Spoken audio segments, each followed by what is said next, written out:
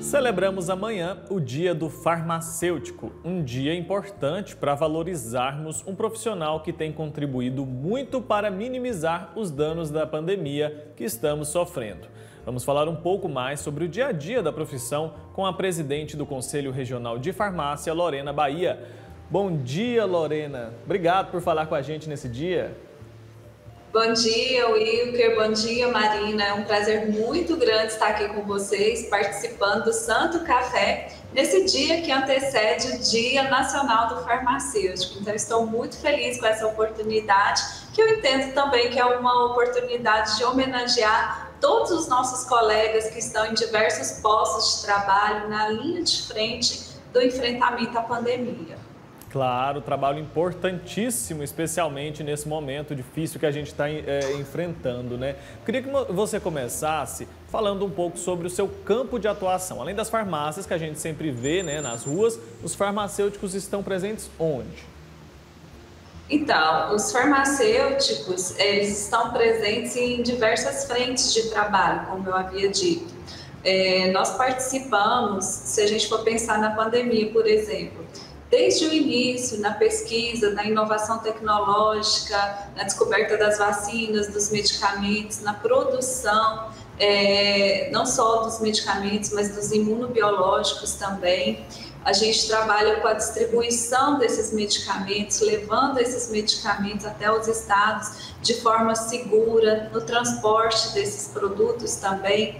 A gente está nas linhas de frente dos hospitais, das unidades de saúde pública, nos laboratórios de análise clínicas, trabalhando com o diagnóstico, com os parâmetros bioquímicos, auxiliando outros profissionais no diagnóstico da doença. É, nós também trabalhamos na questão é, assistencial, da atenção à saúde, esclarecendo a população é, sobre os tratamentos, sobre as evidências científicas que existem, é, desmistificando os mitos, combatendo as fake news. Então, a gente está envolvido também nos processos de educação em saúde. Nós trabalhamos em hospitais, clínicas, farmácias de manipulação, nas drogarias, em toda farmácia, tem sempre um farmacêutico disposto a auxiliar e orientar a população. Eu costumo sempre dizer que o farmacêutico ele é o profissional de saúde mais acessível à população. Ninguém precisa marcar horário para falar com o farmacêutico. Se tem uma farmácia que está de portas abertas, ali tem um farmacêutico disposto a te escutar, a te orientar e a fazer o bem à sociedade. É, e realmente, Lorena, está certíssima. E eu quero te fazer uma pergunta, até você deu, citou um pouco aí sobre a pandemia, né?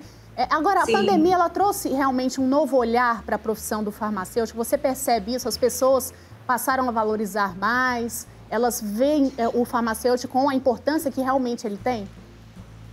Marina, desde o início que foi decretado o estado de calamidade pública no nosso país, em todos os decretos aqui do nosso estado, dos municípios também, a farmácia ela foi considerada como um estabelecimento de saúde essencial à manutenção da vida.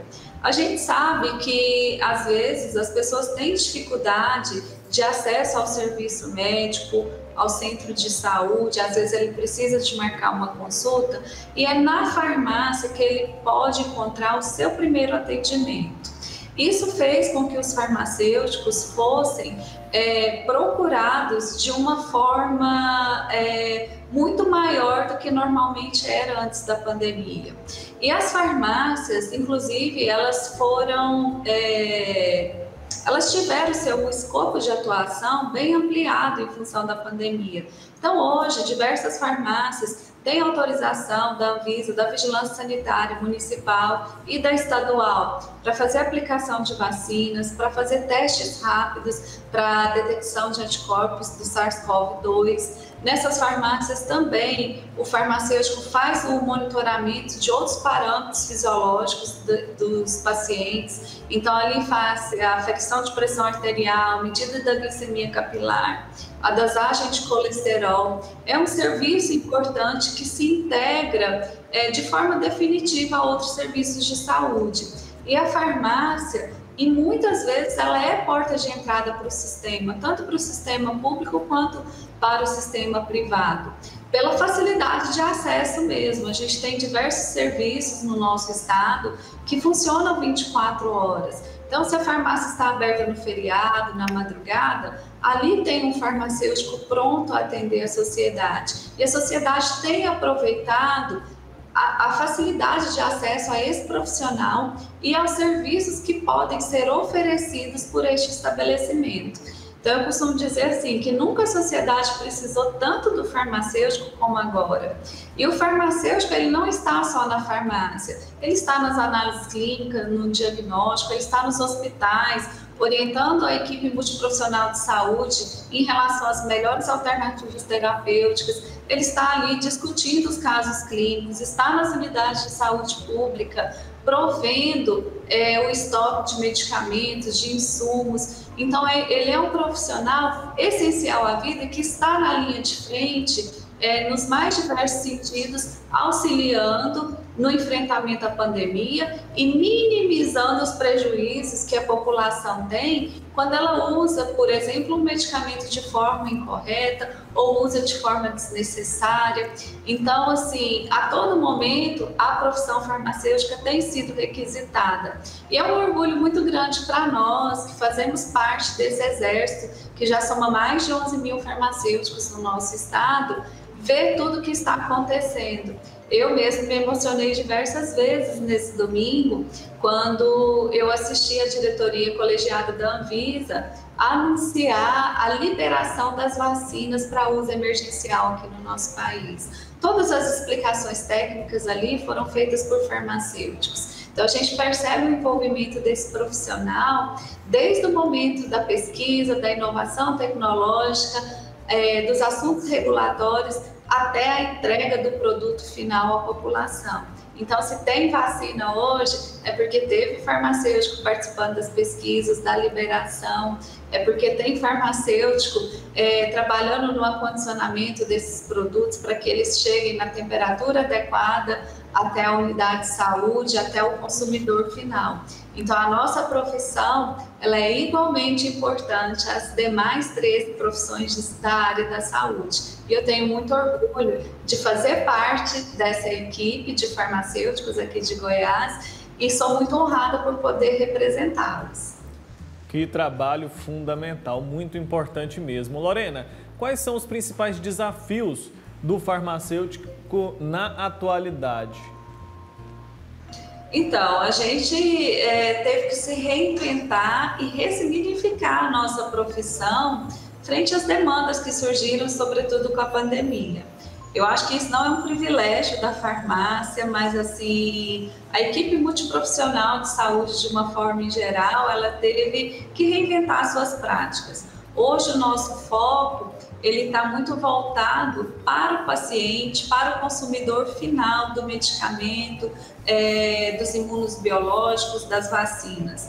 Então, o farmacêutico ele faz um acompanhamento é, de toda a utilização de medicamentos, tentando fazer com que esses insumos do nosso trabalho eles tragam resultados cada vez mais satisfatórios para um paciente, que traga uma melhor qualidade de vida. E o nosso grande desafio é saber trabalhar em equipe multiprofissional de saúde, é se articular a todo momento com os prescritores, né? então com o médico, com o enfermeiro, é, com o serviço social. Às vezes a gente vai interagir também com nutricionistas, educadores físicos. Então, isso é um grande desafio para nossa profissão.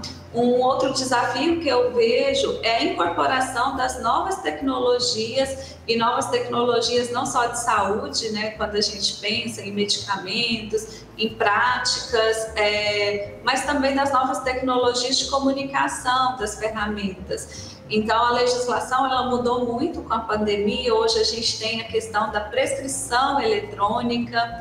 Então, é, para evitar que as pessoas se desloquem até os hospitais, as clínicas, hoje o médico ele pode fazer a telemedicina, ele prescreve através de um aplicativo e com esse aplicativo, com essa receita, com essa prescrição eletrônica, o paciente vai até a farmácia e o farmacêutico faz toda a dispensação, toda a orientação, seguindo a legislação vigente. Então, o mundo ele tem mudado de forma muito rápida e um grande desafio para nós profissionais farmacêuticos é acompanhar essas mudanças de forma que o paciente não fique prejudicado em nenhum momento, que a gente não burocratize é, o acesso que ele tem, porque a gente quer continuar sendo esse profissional que é útil e esse profissional que é o mais acessível à população. Ô Lorena, agora eu quero te fazer uma pergunta que ela até é um pouco engraçada, viu? Porque fala um pouco de cultura também, né? A gente vê Sim. que em alguns lugares muitas pessoas elas confiam mais no farmacêutico do que no próprio médico. É realmente uma cultura aí de anos? Isso existe ainda hoje? Olha, isso é muito comum, mas eu digo assim, é pela facilidade do acesso. Não é porque o farmacêutico é mais importante que o médico, tem mais conhecimento com o médico. Eu acredito muito assim que os nossos saberes eles se complementam. Em muitas situações, o farmacêutico ele contribui com o médico para uma melhor prescrição, ele auxilia o médico nas escolhas terapêuticas, mas assim, é, eu costumo dizer que é cada um no seu quadrado. A gente tem o nosso limite de atuação e o médico também tem o limite de atuação dele. Mas o que, que acontece muitas vezes, Marino, é que às vezes o paciente ele sai do consultório médico sem compreender direito é, a importância da sua adesão ao tratamento, por que, que ele precisa de usar aquele medicamento. Às vezes a prescrição chega a ser ilegível também, ele não sabe interpretar o que está escrito naquela prescrição. Então, o farmacêutico ele auxilia. E justamente pela facilidade do acesso, por não precisar marcar horário, por não ter que esperar, então, é, em diversas situações, o paciente ele tem o seu farmacêutico de confiança, onde ele pode esclarecer todas as suas dúvidas em relação ao tratamento. E aí ele aproveita também para tirar outras dúvidas. Será que o meu medicamento eu posso tomar depois que eu me alimentar? Sofre interferência com algum alimento? Esse medicamento pode ser utilizado com leite? Então, são dúvidas comuns que as pessoas têm e que o farmacêutico, por estar ali todos os dias na farmácia, ele está sempre disponível, é sim, em muitas situações, a primeira referência que um consumidor de medicamentos tem para esclarecer as suas dúvidas em relação ao uso de medicamentos. Porque muitas Mas vezes... jamais a gente quer substituir outros profissionais, a gente é. quer somar os esforços. Com certeza. É muitas vezes a gente esquece ali de tirar alguma dúvida com o médico, né, no consultório, e realmente a gente vai lembrar dessa dúvida só ali na hora de comprar ou de tomar o medicamento, né? Sim. né? Realmente vocês são é, importantíssimos nessa mundo. hora. Então, para traduzir então ali a letra do médico, muito importante também, viu? Sim. Deve fazer parte da formação do farmacêutico, né? Traduzir letra de é, médico, gente... porque é difícil.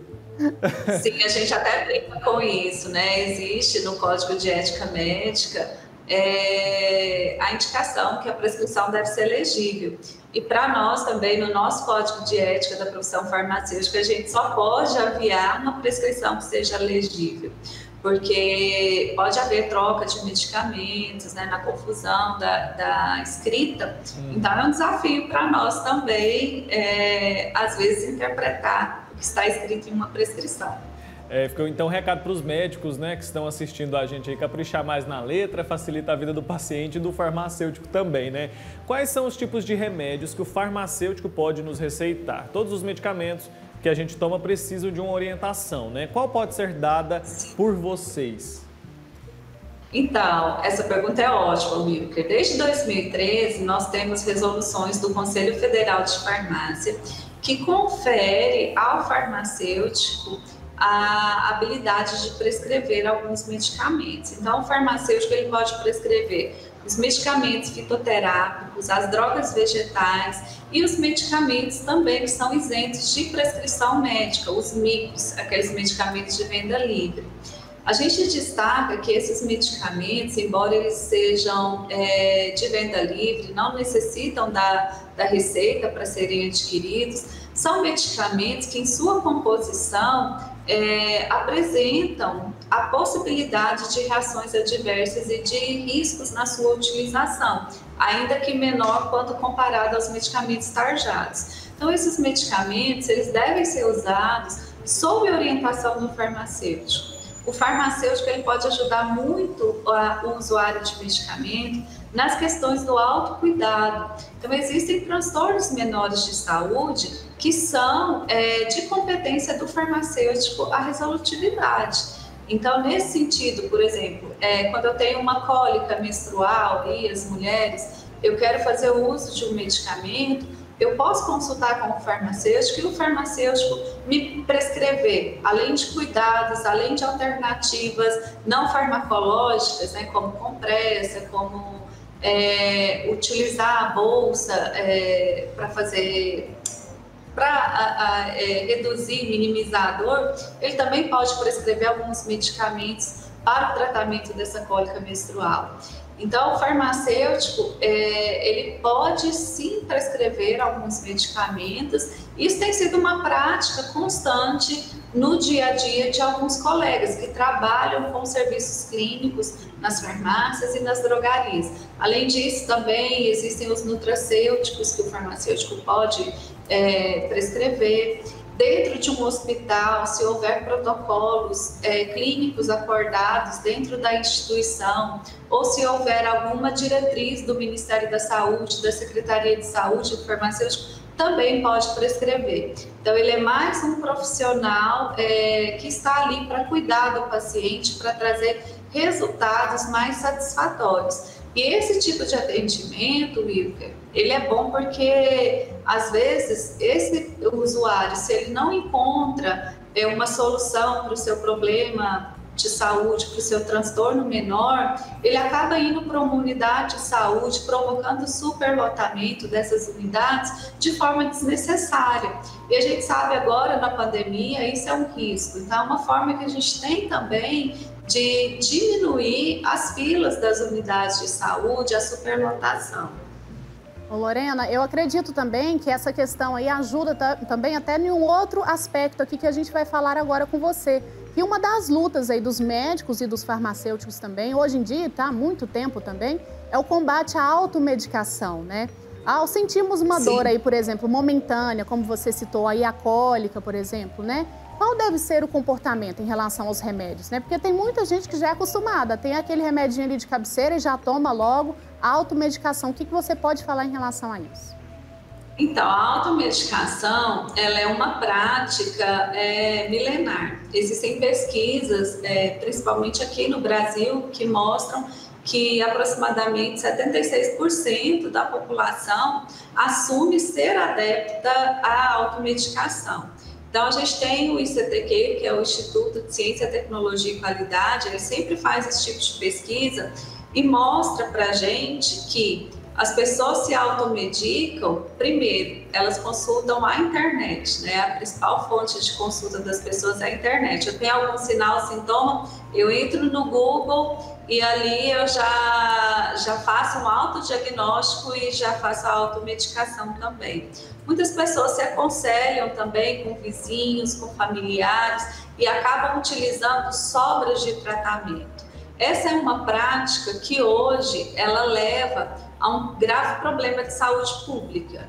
Hoje, se você analisar os dados né, do Sistema Nacional de Intoxicação, o Cinetox, eles apontam para a gente que desde 1997 a intoxicação por medicamentos é a principal causa de morte por intoxicação no país. Então, é um dado alarmante e a principal causa de intoxicação são justamente os medicamentos que são utilizados na prática da automedicação. Então, essa prática é uma prática perigosa, mas ao mesmo tempo, Marina, ela é uma prática que pode beneficiar o paciente se ele se conhecer, se ele for adepto ao autocuidado, se ele tiver uma orientação profissional para que ele possa identificar quais são os meus sinais e sintomas, quais são os limites onde eu posso fazer a automedicação. Então, por isso o farmacêutico pode orientar. Agora, na pandemia, a gente é, viu uma procura muito grande da população, porque assim, você tem uma pandemia e todo mundo busca a cura. E essa cura, infelizmente, ela não chegou ainda para gente. Os medicamentos que são utilizados para tratamento da Covid-19, eles são utilizados com a finalidade de impedir o agravamento da doença e impedir o óbito. Então, é para controle de sinais e sintomas. Então, é, os médicos utilizam corticoides, antibióticos, né? É, drogas vasoativas também em determinado ponto da doença, mas não existe nenhum medicamento que seja capaz de curar a Covid. Agora a gente tem a vacina mas muitos medicamentos estavam sendo divulgados é, como uso profilático indicado para Covid-19.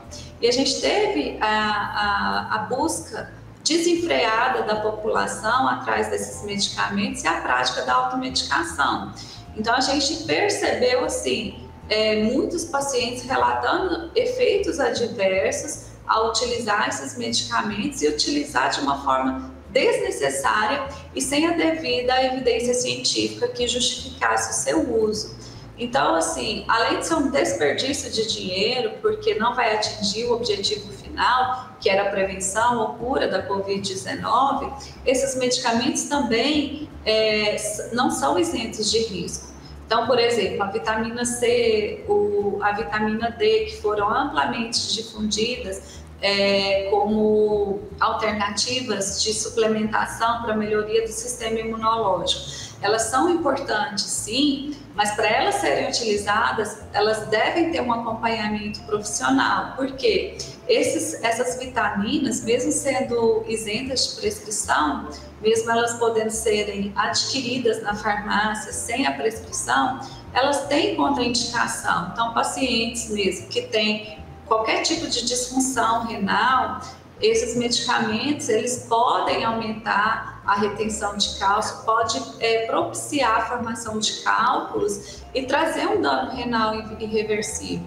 Então, o farmacêutico ele tem esse papel de orientar é, para que, se houver qualquer automedicação, para que ela seja guiada e orientada para que traga mais riscos, mais benefícios, desculpa, do que riscos para quem vai utilizar qualquer medicamento. É verdade, tem que tomar cuidado e realmente tem o profissional, né? Então a gente que procure realmente o profissional.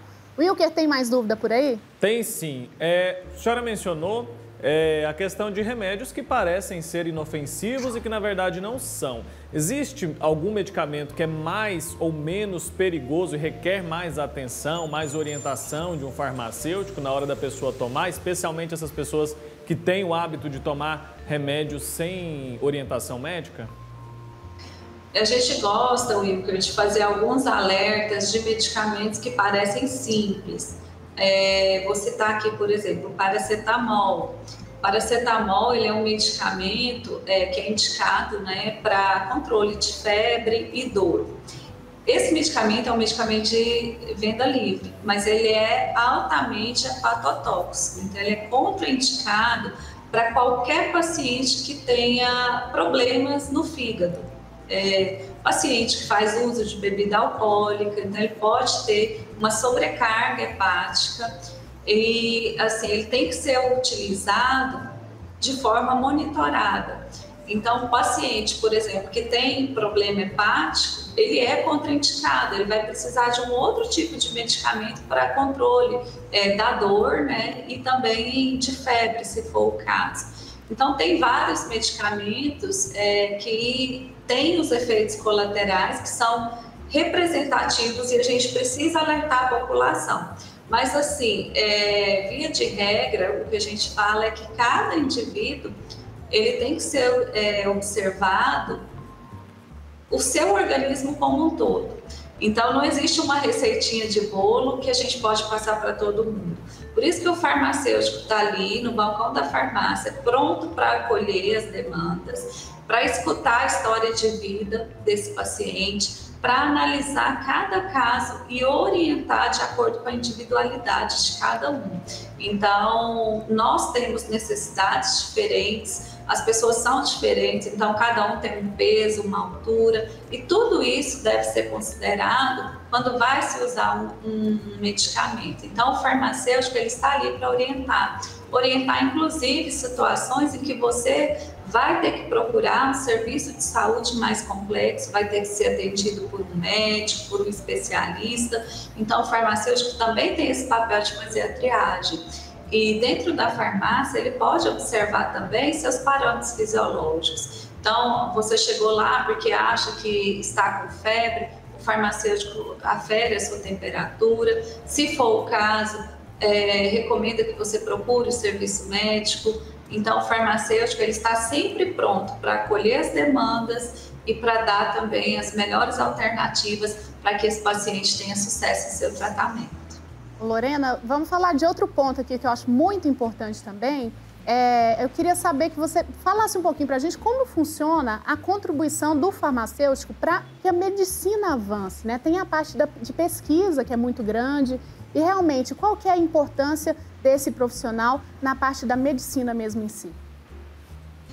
Então, Marina, assim, o farmacêutico ele atua em diversas frentes de pesquisa é, tanto no desenvolvimento tecnológico, no, nas inovações tecnológicas, com descoberta de novos medicamentos, novos imunobiológicos, as vacinas também.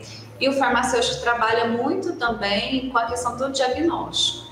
Então, nós temos vários colegas que atuam na área das análises clínicas. Então, sempre que você vê ferramentas novas, inovações, Igual agora, a gente tem a Covid, tem o teste lá do PCR com suave, ali por trás daqueles resultados tem um farmacêutico, um biomédico, um médico também, mas os farmacêuticos eles têm contribuído muito nesse sentido.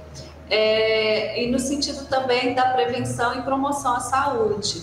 O combate à automedicação é uma forma que a gente tem também de valorizar a prescrição médica, valorizar o, os tratamentos que são prescritos para esses pacientes e ensinar o paciente que nem sempre é, o medicamento só traz resultados positivos, né? Ele também pode trazer danos se não for bem utilizado.